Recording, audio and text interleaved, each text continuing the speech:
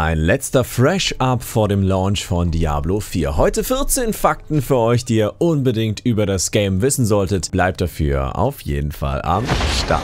Liebe Leute, mein Name ist Fragnat und dieses Video wird euch mal wieder präsentiert vom Fragnat Team. Ja, 14 Punkte, um euch vorzubereiten auf den Launch von Diablo 4. Ich bin schon wirklich voller Vorfreude. Diese Dinge solltet ihr auf jeden Fall nochmal wissen, verinnerlichen, abchecken. Im Zweifelsfall, wir sprechen über, mit wem könnt ihr wie spielen, wann kommt es wirklich raus, ist es jetzt Pay to Win, Stand jetzt, wie sieht es mit den Systemvoraussetzungen aus und, und, und. Fangen wir vorne an. Punkt Nummer 1. Release von Diablo 4 ist am 6. Juni, offizieller Release, um 1 Uhr nachts. Allerdings gibt es natürlich den gekauften Early Access, den ihr in der digitalen Deluxe oder Ultimate Edition euch erkaufen könnt. Dann ist das Ganze für euch am 2. Juni um 1 Uhr nachts. Also da auch für alle Nachteulen genau das Richtige. Ja? Also ganz früh am 2. Juni geht's los und falls ihr da wirklich die Nacht durchmacht, dann viel Spaß. Ich persönlich werde antizyklisch spielen, bedeutet für mich, ich fange wahrscheinlich so um 8 Uhr, 10 Uhr oder so an und dann wird da reingejodelt in Diablo 4, wenn die Server wahrscheinlich nicht mehr ganz so heiß laufen, weil zum absoluten Launch werden sicherlich alle drin sein. Punkt Nummer DOS, Crossplay, Cross-Save. Diese beiden Optionen bietet Diablo 4. Ziemlich cool, wie ich finde, denn das bedeutet für dich, in der Theorie kannst du auf dem PC spielen, da dein Battlenet Safe Game abspeichern, wird er eh online gemacht und dann an der Playstation weiter zocken. Ziemlich cooles Feature, wie ich finde und ich finde Cross-Save ist absolut zeitgemäß und macht es halt auch cool möglich, dass du zum Beispiel zu Hause an einem genialen Gaming-PC zockst und du gehst in Urlaub und dann nimmst du natürlich die Playstation mit, weil was macht man im Urlaub richtig? Nur zocken. Dann wird im Urlaub am Strand weitergezockt oder was weiß ich, wo ihr seid. Punkt Nummer 3, die Systemvoraussetzungen. Ein sehr, sehr wichtiger Punkt für viele von euch, aber große Entwarnung, ihr könnt auch schon mit einem relativ alten System das Ganze spielen auf niedrigen Einstellungen, 30 FPS, das geht. Das geht, das ist vielleicht nicht schön und nicht zeitgemäß, aber ihr habt die Option auf einem alten, ollen Laptop das Ganze zu zocken. Ja, also mindestens müsst ihr auf jeden Fall Windows 10 haben, aber das war ja schon eine ganze Zeit lang auch gratis. Ich denke, die meisten haben es jetzt. Ihr braucht einen i5 2500K oder einen AMD FX 8350, 8 GB RAM, eine GeForce GTX 660 oder zum Beispiel eine Radeon R9 280, äh, DirectX Version 12, die aktuelle, oder ist das die aktuellste? Bin mir gar nicht sicher. Eine SSD mit 90 GB Speicher, also die SSD wird hier schon vorausgesetzt, keine alte Festplatte mehr und natürlich Breitband-Internet. Jetzt vielleicht nicht so, dass das olle Smartphone-Internet Edge, das wird leider nicht ausreichen. Ja, das war jetzt für die allerniedrigsten Einstellungen und wenn ihr das habt, dann könnt ihr Diablo 4 spielen. Ansonsten, weiß ich nicht, holt euch eine Xbox Series S. Konsolen sind eh immer im Verhältnis deutlich günstiger zu dem, was man geboten kriegt. Dafür sind die Spiele meistens etwas teurer, aber das ist nochmal ein ganz anderes Thema. Punkt Nummer 4. Seasons. Seasons wird es wieder geben in Diablo 4 und die sind so ähnlich wie in Diablo 3. Es gibt auch auch wieder ein Reset und dann einen Battle Pass dazu, dazu später mehr. Ähm, ein paar Wochen nach Launch kommt die erste Season, mehr ist bislang noch nicht bekannt und da wird dann auch natürlich ordentlich reingejodelt. Bedeutet für euch, ihr startet von vorne und könnt in dieser Season mit einem bestimmten Thema zum Beispiel oder mit bestimmten neuen Quests das Ganze dann nochmal ergänzend erleben. Soweit ich das mitbekommen habe, müsst ihr nicht die Story jedes Mal durchspielen. Das finde ich sehr gut, war ja in D3 dann auch irgendwann nicht mehr nötig, als es dann auch die Seasons gab. Da gab es ja den Abenteuermodus und ähnlich wird es wahrscheinlich auch hier dann ablaufen, dass ihr ja nicht die Story spielen müsst. Ihr habt die Gelegenheit, ähm, natürlich alle Gebiete wieder erneut frei zu spielen oder müsst das Ganze machen. Nicht alle wollen das, aber mich persönlich hat es mega motiviert und ich fand es ein super cooles System. Punkt Nummer 5, der Preload. Ja, der startet am 30 30. Mai 4 p.m. PDT, ja, Pacific Daytime. Bei uns ist das der 31. Mai um 1 Uhr nachts. Bedeutet zwei Tage vor Release? Ja, genau, zwei Tage vor Release, beziehungsweise Release des Early Access. Ja, das ist ja schon bald. Ich gucke hier gerade mal in den Kalender, ist der Mittwoch. Also Mittwoch 1 Uhr nachts, ab in den Download. 90 GB sind Falls ihr auf dem Dorf lebt, solltet ihr das vielleicht jetzt schon früh machen. Punkt Nummer 6, der Battle Pass. Es gibt drei Optionen, äh, ein gratis und zwei kostenpflichtige Versionen des Battle Pass, einmal 10 Dollar, 25 Dollar.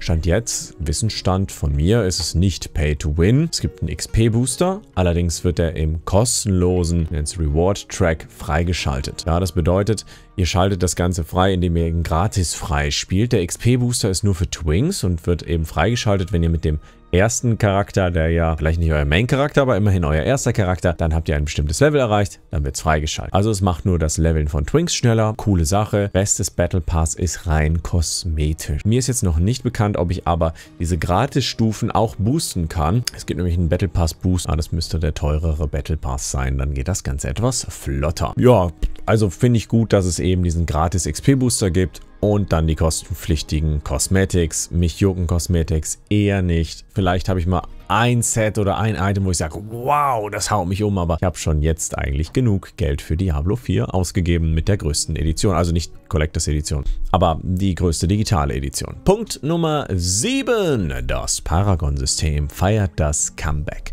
Es ist anders als in Diablo 3. Paragon-Level sind nicht mehr accountweit, sondern charakterspezifisch und außerdem sind sie begrenzt. Bedeutet, irgendwann habt ihr das Paragon voll. Von Level 50 bis 100 schaltet ihr die ganzen frei. Level 100 ist das Max-Level und äh, ein paar andere Quellen gibt es dafür dann auch noch. Sehr coole Sache.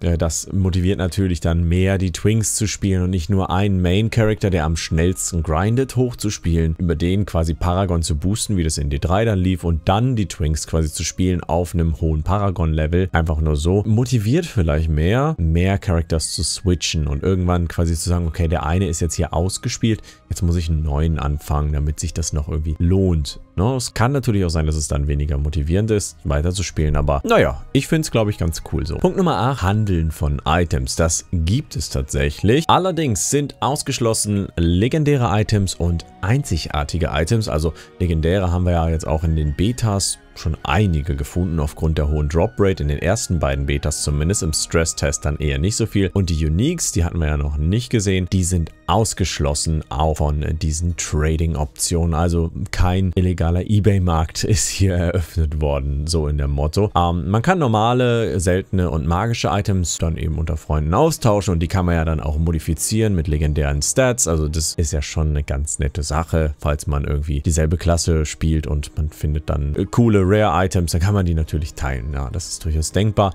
Wird aber jetzt nicht krass sein, bin ich der Meinung. Ebenfalls tauschbar sind wohl Gems, Gold und Elixiere. Und da sehe ich auf jeden Fall schon wieder einen großen Ebay-Markt. Schauen wir mal, wie das wird. Kann man einfach nur sagen. Ne? Punkt Nummer 9. Twitch Drops wird es geben. Und zwar vom 5. Juni. Also vom offiziellen Start, nicht vom Early Access Start, bis, beziehungsweise kurz vorm äh, offiziellen Start, bis zum 2. Juli. Ungefähr einen Monat habt ihr Zeit. Es gibt diverse Drops. Einmal über die gesamte Dauer gibt es das Primal Instinct Mount als Belohnung. Aber Achtung, kostet Kohle indirekt. Ihr müsst quasi bei einem äh, Twitch-Streamer ein Abo dalassen, ein kostenpflichtiges Abo für den äh, Primal Instinct. Und das bedeutet, ihr müsst euch da einen Streamer raussuchen, der das hat wahrscheinlich wieder Jesse oder so, äh, gehe ich mal von aus zumindest. Dann müsst ihr da einmal Geld bezahlen, tatsächlich 3,99 Euro. Ja, und dann müsst ihr euch noch einen zweiten Creator raussuchen, wo ihr das auch macht. Also 8 Euro kostet das Ganze, wird dann aber an Amazon gehen und nicht an Blizzard direkt. Und da ist sicherlich eine extrem krasse Kooperation von Amazon und Blizzard am Start, dass das über Prime-Abos refinanziert wird. Ich bin gespannt, in welcher Form eben dann jetzt auch Twitch Diablo pushen wird. Das wird wahrscheinlich das Nummer Nummer 1 Spiel dort sein und auch von Twitch selber irgendwie total bevorzugt werden. Finde ich nicht so eine coole Aktion, ja, aber es ist halt eine andere Form von Mikrotransaktionen, halt nur jetzt auf Twitch statt eben auch auf dem Blizzard Shop.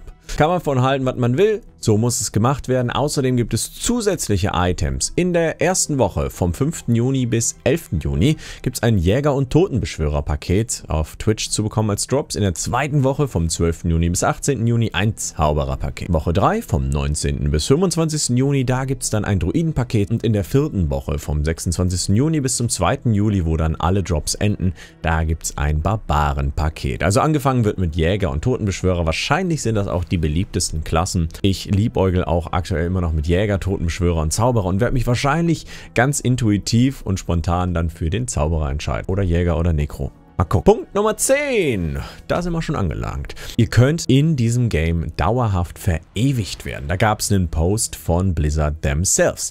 Die ersten 1000 Leute, die Level 100 im Hardcore-Modus erreichen, sollen im Spiel verewigt werden oder können im Spiel verewigt werden. Wenn ihr jetzt Lümmelmaster 13 heißt, dann vielleicht nicht. Aber grundsätzlich ist das die Möglichkeit, im Hardcore-Modus Level 100 erreichen, auf Twitter das Ganze dann posten. Und zwar mit dem Hashtag Diablo4Hardcore. Dazu dann eine, ein Beweis, mit, äh, mit, mit Username und ähm, ja, dann wirst du auf so einer Statue verewigt, auf einer Statue von Lilith. Ziemlich coole Sache und äh, ja, ich glaube für viele von euch könnte das durchaus ein Traum sein, in einem Game verewigt zu sein. Für mich persönlich ist es nämlich auch ein Traum. Ich bin ja in Assassin's Creed Valhalla verewigt, sogar mit meiner Stimme an vielen Stellen. Ich glaube an vier Stellen sogar äh, habe ich mich gehört oder fünf und äh, das ist eine ganz große Ehre und eine super coole Sache, in einer seiner Lieblingsbrand verewigt zu sein. Also ich drücke euch die Daumen, falls ihr Hardcore zockt zum Launch. Ich persönlich werde wahrscheinlich Softcore spielen, aus dem einfachen Grund, dass ich Videos über das Spiel mache. Und stell dir vor, aus irgendeinem Grund stirbt mein Charakter ja dann... Mh, hm, muss ich neu leveln und kann nicht mehr so cool Videos machen. Wobei dann natürlich mit freigeschaltetem Boost äh, im, im Season Pass geht es ein bisschen schneller dann auch immer. Punkt Nummer 11. Alle Ultra-Wide-Zocker da draußen können sich freuen. Ultra-Wide-Support ist da für die super coolen breiten Bildschirme. Liebe ich persönlich total, finde ich genial. Ich mache es nur privat, beziehungsweise mache es gar nicht, weil ich halt Videos mache und das Format eben 16 zu 9 ist, was man auf YouTube schaut auf anderen Plattformen. Punkt Nummer 12. Es wird keinen Offline-Modus geben, ebenso nicht für die Konsolen Konsolen. Also Online-Zwang, falls euch das nervt. Pech gehabt, I guess. Für mich ist es okay, es ist nicht schlimm, aber ihr müsst es wissen, ihr braucht unbedingt eine Internet-Connection. Ansonsten klappt es nicht. Punkt Nummer 13. Kein Couch-Koop für PC. Also ihr könnt nicht zusammen vorm PC sitzen. Sehr, sehr schade. Für Konsolen wird es aber Couch Koop geben. Am PC hätte ich mir das nämlich auch vorstellen können. Mit Controller einer, einer mit Tastatur, maybe. Aber unser Punkt Nummer 14 ist nämlich auch nochmal eine schlechte Nachricht für die PC-Ladel da draußen. Kein Controller-Support für den PC. Zumindest zum Launch wird es auch kein WASD-Movement geben. Es ist nicht ausgeschlossen für die Zukunft, aber schauen wir mal, was wird. Ja, einen kleinen Bonusfakt haben wir noch für euch. Es gibt keinen Q-Level. Das müsst ihr mir glauben. An der Stelle, Rinda Badike wird fehl am Platze sein. Und äh, ich freue mich schon riesig auf den Launch zusammen mit euch. Bin sehr, sehr gespannt darauf. Lasst unbedingt gern ein Abo hier da, wenn ihr Bock habt, weiterhin mit Diablo-Content versorgt zu werden. Und schaut vielleicht auch gerne mal auf instagram.com slash fragnat vorbei. Dort kündige ich zum Beispiel Streams an oder poste mal andere lustige Sachen. Wie zum Beispiel, warum neulich die ARD bei mir zu Hause war und äh, hier was gefilmt hat bei mir. Und das war eine ziemlich coole Sache. Dazu demnächst mehr. Ich bedanke mich fürs fürs dabei sein und äh, sagt ciao, euer V. Und natürlich Glocke, die ist das. Tschüss. Er braucht keinen Spell.